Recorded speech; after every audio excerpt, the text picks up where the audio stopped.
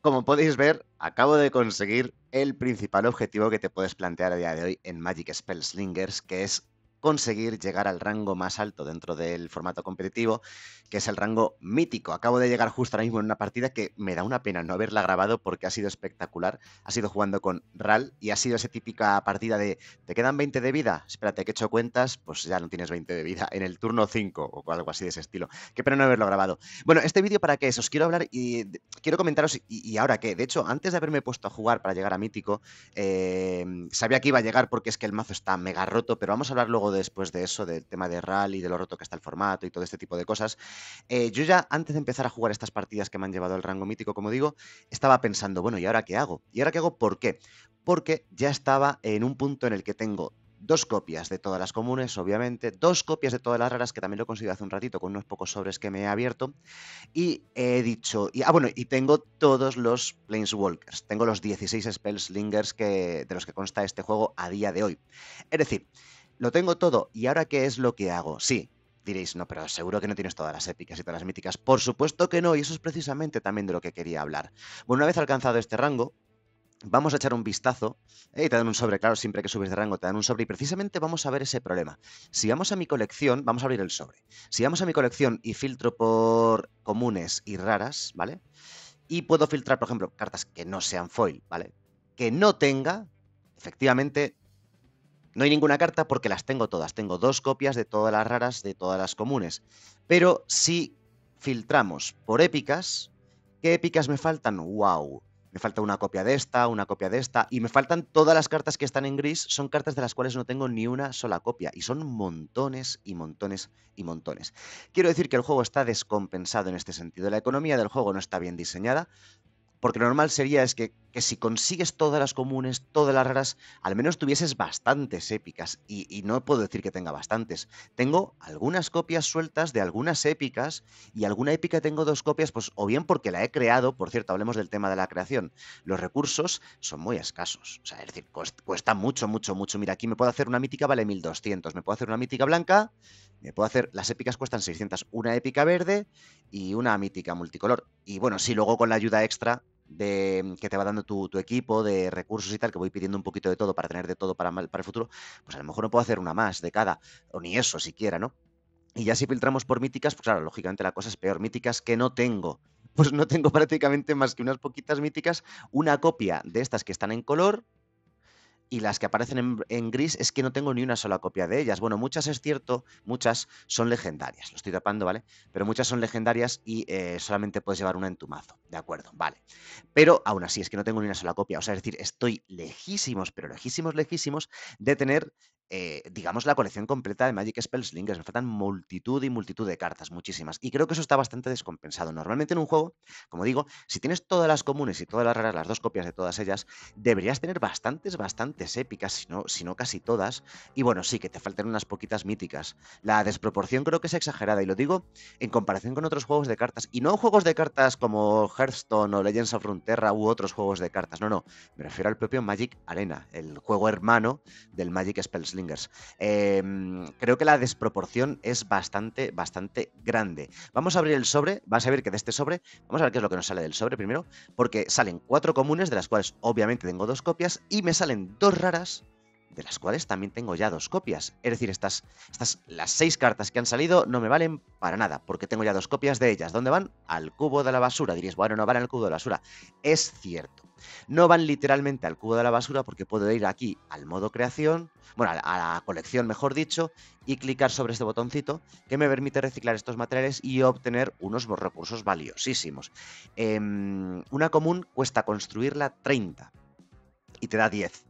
Eh, una rara cuesta construirla 120 y te da 40, si no me equivoco. Una épica cuesta 600 y te da 300, 200, perdón, si no me equivoco. Y una mítica cuesta 1200 y te da 400. Me refiero lo de que te da al destruirlas. Bueno, pues he obtenido estos recursos que, como veis, están, son poquísimos, son migajas en comparación con lo que cuesta construir una mítica, que es 1200, ¿vale? Vamos a ver el tema de los Planeswalkers. El tema de los Planeswalkers, como podéis ver, pues bueno, no lo podéis ver porque lo estoy medio tapando, pero me subo por aquí, ya está arreglado. Y eh, podéis ver que los tengo, los tengo ya todos, los 16 Planeswalkers. Pregunta, Magic Spell Slingers. ¿Y ahora ¿De qué me sirve el medidor de influencia? Sí, estoy, estoy ya casi a medio medidor para conseguir otra llave, para poder conseguir otro Planeswalker, pero es que no lo hay. Es decir, se me van a empezar aquí a acumular llaves a partir de este punto, porque según vaya abriendo sobres, consiguiendo cartas, la influencia va subiendo. Y cuando llegas arriba te dan una llave que te desbloquea un Planeswalker. Hombre, obviamente, a ver, ya, no soy tonto. Soy consciente de que en los próximos eh, meses irán sacando nuevos Planeswalkers, pero no van a sacar muchos, eh, no creáis. Yo creo que sacarán tres o cuatro al año como mucho, ¿de acuerdo? Si es que sacan tantos, a lo mejor no sacan ni esos.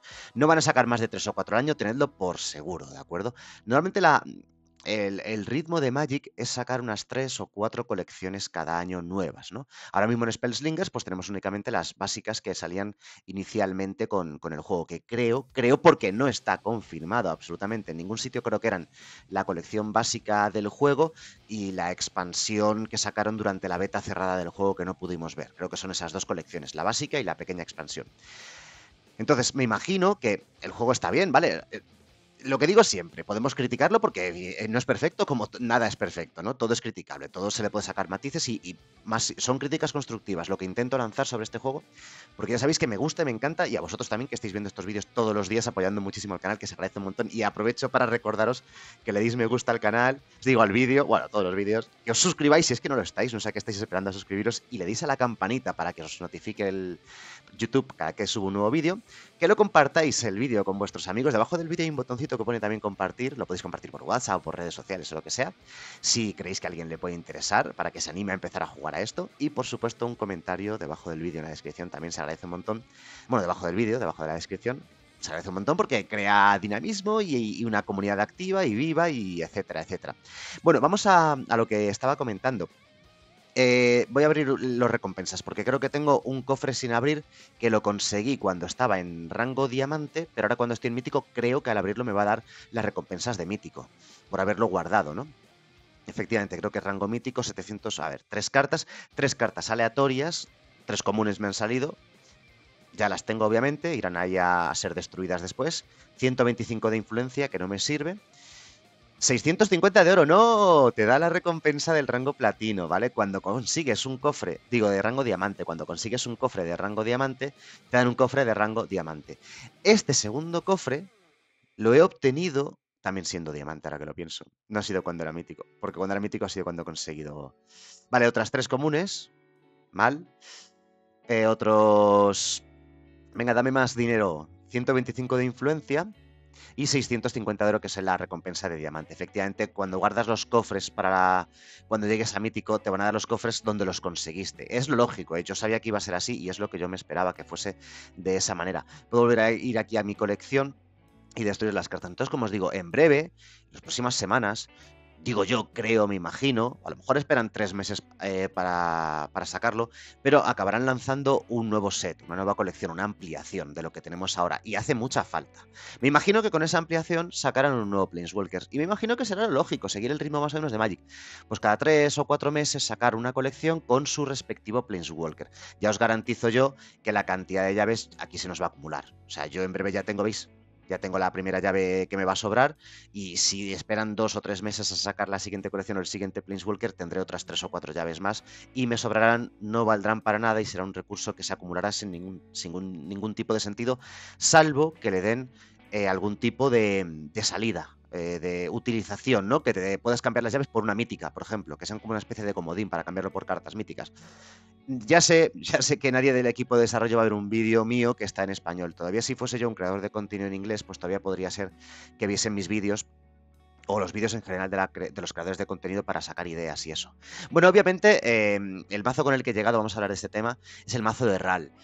Yo os lo comenté el otro día, que era un mazo que estaba tremendamente fuerte, pero la cosa ha ido a más. Estoy jugando este mazo con Academia Tolariana, que merece muchísimo la pena, ya os lo comentaba en vídeos pasados, que se está volviendo súper dominante con cetro isócrono, obviamente, y con el tomo místico.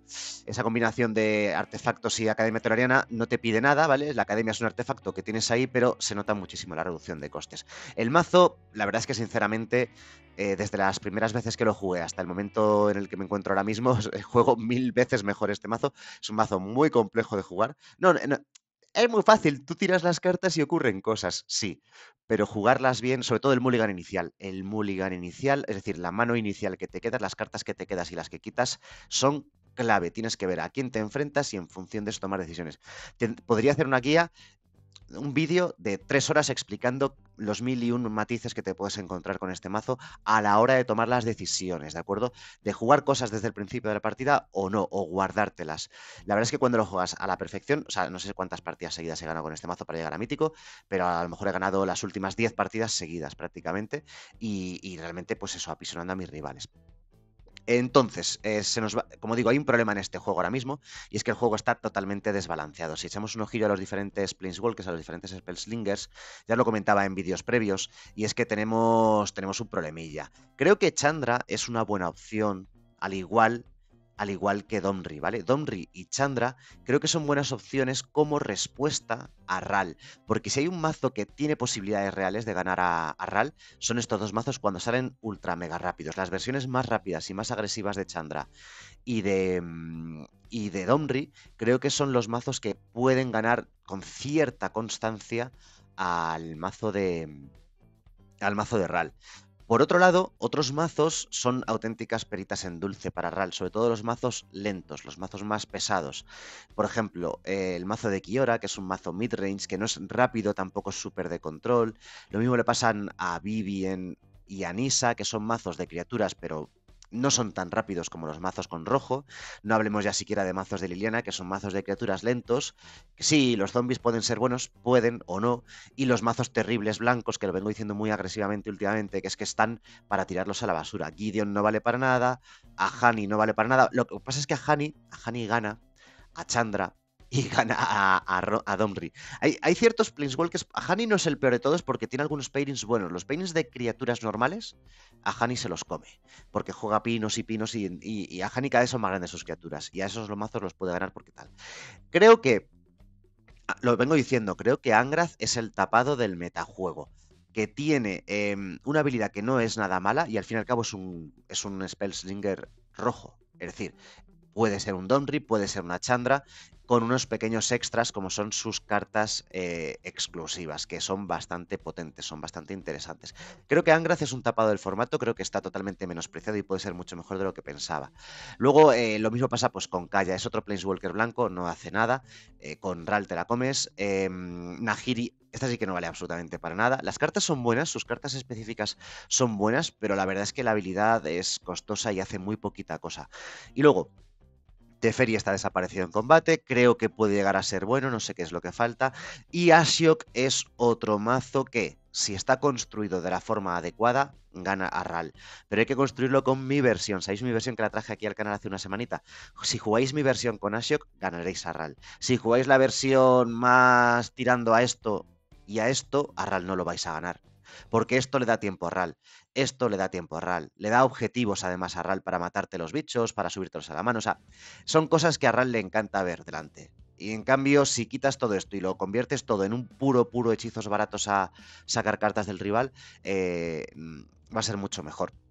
Así que os digo, ahora que ya estoy en mítico, ya me da igual el rango, ya me da igual ya me da igual perder partidas, bajar de, rango. Por cierto, ya creo que soy el cuarto mítico de mi clan, de mi equipo. Efectivamente, tenemos aquí, enhorabuena, por cierto, a Lester, que está el 36 de mítico del mundo. Enhorabuena a Vicedrix, que sigue ahí 185, al igual que a Monchakai, que llegó mucho antes que yo, que crack.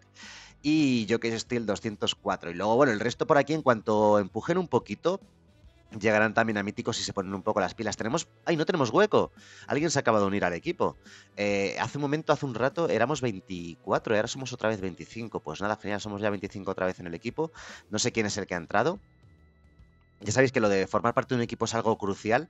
Primero porque ya tienes unos amigos con los cuales charlar sobre el juego, consultar dudas, compartir mazos, ayudas. Hice Dragons, este lo queréis ver, ¿eh? Pues es un secreto, es un mazo secreto del, equipo. Lo siento, lo siento. Nada, en serio, si, si, veo que funciona y eso ya os lo traeré, ¿no? Y, es muy importante también, por, sobre todo por el tema de los recursos. Constantemente pedir, eh, pedid siempre recursos y siempre donad recursos porque al final el equipo sale ganando con ello. Ah, mira, tenía justo aquí completado esto, que no lo había visto. Y poco más que comentaros. Por cierto, hay un evento hoy no sé hasta cuándo dura el evento, no sé mirado los eventos aquí. Hay un evento que dura, nah, es un evento de día. Ya sabéis que de forma aleatoria, sin avisar, sin decir nada, de repente te sacan un evento sin, sin aviso, nada. Pues han sacado el evento Blitz. La primera inscripción, de momento, siempre está siendo gratuita, así que son unas pocas gemas gratis. Seguramente el vídeo de mañana sea un intento de ganar este, este evento Blitz y llevarme esas 200 gemitas y probablemente lo juegue con con RAL. Probablemente lo juegue con RAL. Así que os avisaré mañana. Bueno, os avisaré, no, os estoy avisando. Para ver si RAL es tan bueno o no. Ya digo que que he conseguido bastantes victorias seguidas con él y estoy muy contento. Ahora jugaré el evento, perderé la primera y adiós, porque se te eliminan en cuanto pierdes la primera partida, ¿no?